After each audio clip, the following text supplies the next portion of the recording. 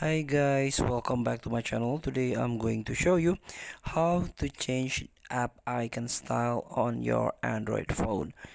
So especially if you have Xiaomi or or, or Realme, Oppo, uh, you can easily change your application icon style on your phone by go to the settings. You can jump into the settings and try to search personalization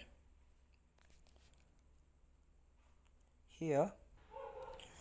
Here on personalization you can change your themes wallpaper and this one the icon style.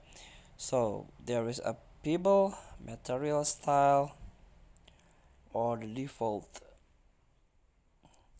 Even you can customize uh, by third-party art plus icons Feel free to try. Thank you for watching. Don't forget to comment, like, and subscribe. And circle the next button below. See you in the next video.